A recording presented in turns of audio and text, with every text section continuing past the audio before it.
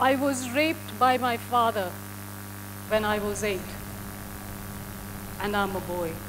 That one line entry in the data collection sheet of my research titled Incidents, Impact, Reporting, and Awareness of Incest in Major Indian Cities became the most painful story I had ever heard.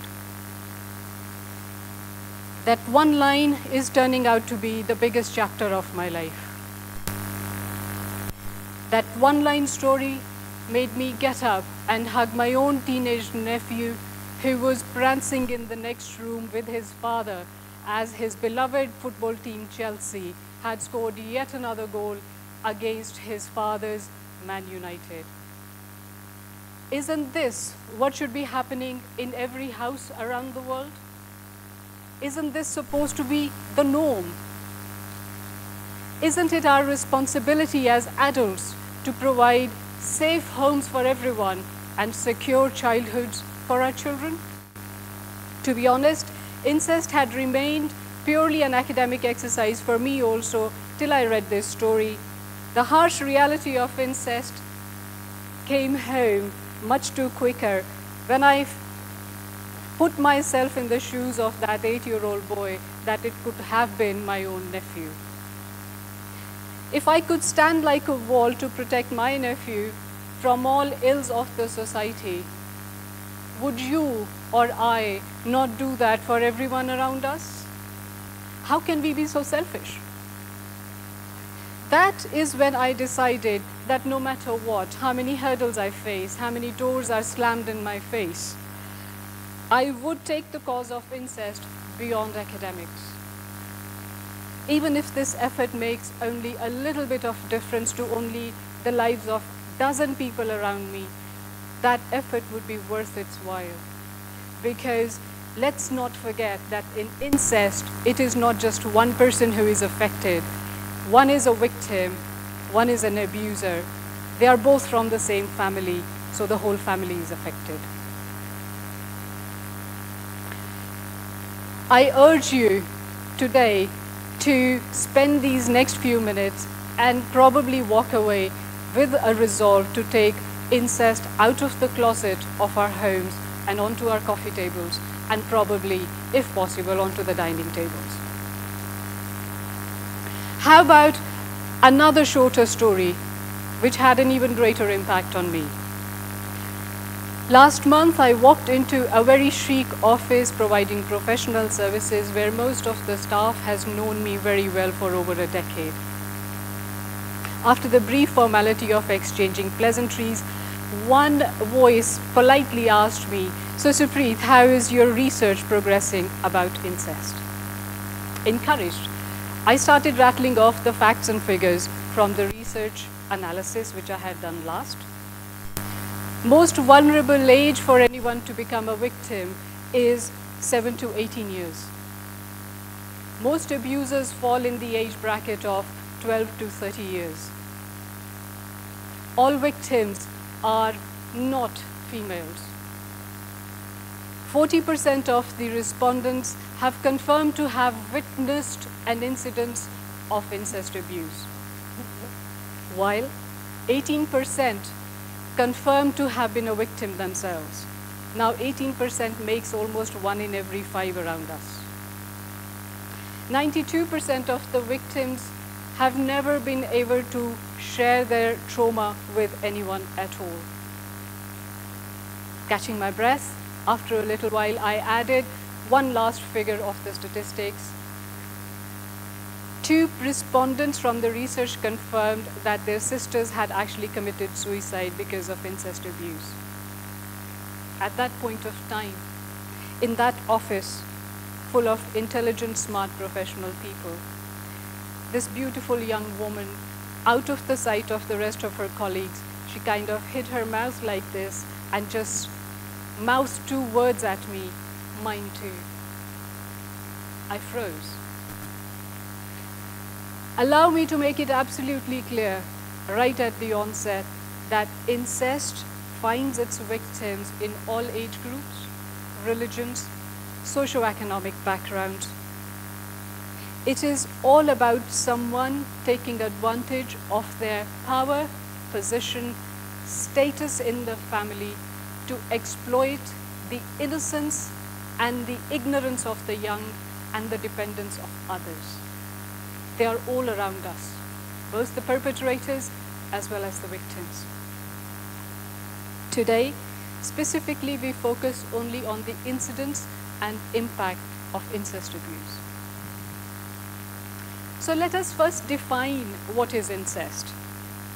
General awareness about incest is so poor that 18% of our respondents wrongly believe that incest is actually legal in the country. Another significant 21% simply don't have a clue, and they are not to be blamed because we don't talk about incest abuse either in our homes or in our schools or in our social clubs. This is a subject taboo not to be discussed.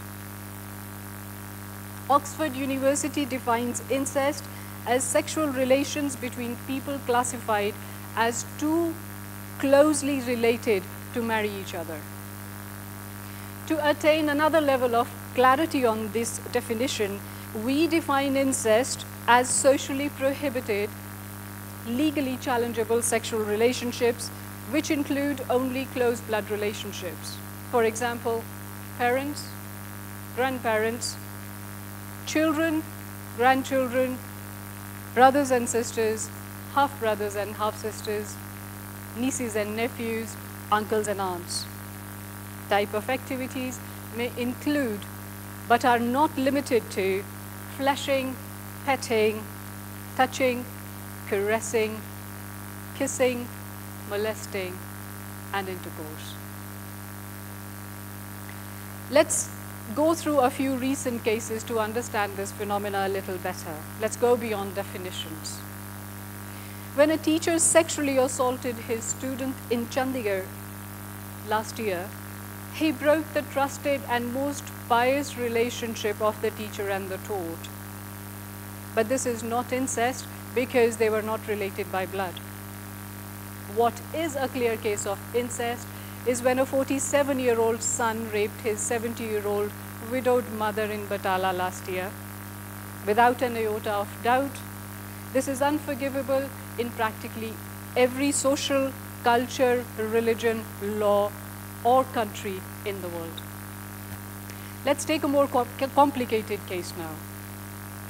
A 10 year old girl in Chandigarh was repeatedly raped for months by her own mama, mother's brother. When it was found that she's pregnant, the pregnancy could not be terminated, so a case was registered, the baby was born, the case was registered against the mama. The baby was born and the DNA test was conducted. And it turned out that this was not the mama who was the father of the child. So then the DNA was conducted on the father and the other male relatives in the family. And it turned out that the father was yet another mama. So this 10 year old girl, a doll, wearing pretty frocks and frills and ribbons, had become a victim. She was like a marketplace within her own home. This case is officially being treated as a case of child sexual abuse under various sections including POCSO. A child barely out of her frocks, raped by those entrusted with her safe upbringing. Who failed her? I again ask you to think. Seeking forgiveness from all legal experts present here, I demand to know does this heinous crime of incest not stand head and shoulders above simply being treated as a rape or a child sexual abuse? Why are we afraid of using the word incest? Why do we hide behind the label of child sexual abuse or simple sexual abuse in which the perpetrator may or may not be known to the victim? But in incest, it is clearly a crime committed by somebody who is related by blood. Let's not confuse incest with sexual abuse in general.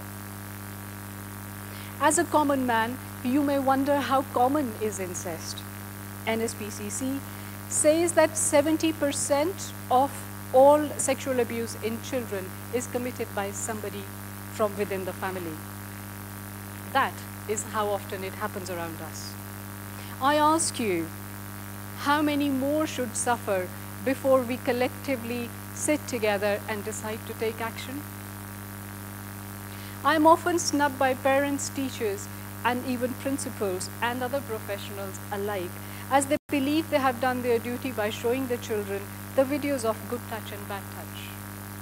Now these good touch and bad touch videos, they tell the child that if you are touched by anyone on the areas which are covered by your swimsuit or on your mouth, you are supposed to go out and tell your five trusted friends and these five trusted friends are generally father, mother, grandfather, grandmother and your teacher. But nobody tells the child what to do if the bad touch arises from these five trusted friends. What do we, where does a child go at that point of time? This is where this concept fails quite miserably because incest abuse is an insider's job and we don't tell the child what happens when the trouble is from inside. I move on to the impact of incest on victims. My endeavors to end incest are motivated solely by the plight of the victims that came to the fore during the course of my research because statistics for me represent real people. They are not numbers. Incest victims suffer and they suffer enormously, often alone, and in silence. Shock, guilt, self-blame, karmic account, shame, embarrassment, soon turn into denial, anger, nightmares, self-harm, and finally suicide. When would we open our eyes to the impact of incest around us? Trauma of impact the trauma of incest impacts males and females differently. Women are still able to confide, but men are condemned for life as they run the risk of being not mature enough to man up to the abuser. When an appeal to participate in our research was published on an FB page, men abused the author generously, claiming it doesn't happen in our culture. Interestingly, overnight I received 90 responses, out of which 72% confirmed to have been either a victim or a witness of incest abuse. This incident alone in one night speaks volumes about the stigma of being a male victim. I'm sure some of you must be thinking, if it is that alarming, why is it not reported? I ask the same, why indeed? Family reputation. What else? Who would marry our children if the word got out? When asked how they responded when someone confided incest in them, 35% of the respondents said they simply didn't know what to say. 33% felt too embarrassed to talk about it. Hardly encouraging. Would we ask for a change only if our own brother, mother, or sister were abused? Given the above results, would you blame the victims for bearing the suffering without sharing with anyone? Please don't. One girl suffered being raped by her uncle for years because she believed being raped herself would protect her younger sister. She eventually committed suicide. Uncle continues to rape the younger sister. Paucity of time does not permit me to analyze the consanguinity or consensual incest, but we must be aware of the genetic implications of this. Despite the extent and gravity of incest, the rape laws in India still do not clearly include incest.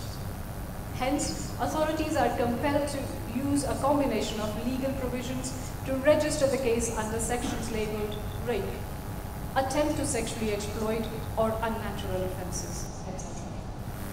Progress has been made, but is not flawless.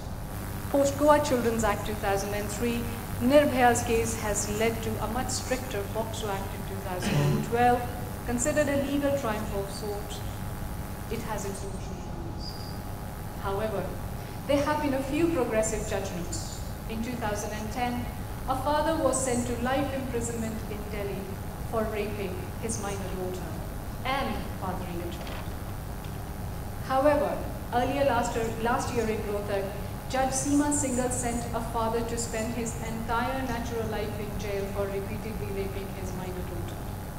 She also sent a suggestion to make, in, make incest a crime punishable separately under the IPC with more severe punishments than awarded for just a Let me take you back to the story of that 10-year-old girl who was violated by her maternal uncle. The mother went to the police station against her brother only when she was told that the pregnancy is beyond safe termination time. She got a case registered only because the shame could no longer either be hidden or aborted away. A few days ago, a father shot his 16-year-old son because he not just sexually assaulted the minor cousin, but he raped her also. Is that the kind of society we want, to, want us to grow and want our children to grow in? We are either killing each other or we are hiding the crime. That's no way to live. That's no way to make progress. Would you let me appeal to you to be the catalyst for change today in our society? Alone I can't do much, but together, perhaps we could create a multiple support system in every city of India. We have successfully done that in Chandigarh and Ludhiana, where the doctors, the medical, um, from the medical field, as well as the lawyers and the mental health specialists have come forward to provide the support and counseling to those who are affected by incest. I'm sure we have these professionals in every city across the country. We can come together and form this plan. Even if it is lip service, I request you to please talk about incest because unless we talk about it, it will not become a, a, a, an acknowledged thing in our society. Can we not create public awareness leading to social action, demanding legal recourse? An incest victim wrote to me once, I truly believe that while it is essential to make good laws and policies, we also need to grow up as a society because maybe the abusers themselves were victims at some time. Remember, we help save one victim we help create one life. We help one predator or abuser. We are saving five potential lives. Shall we begin? Thank you.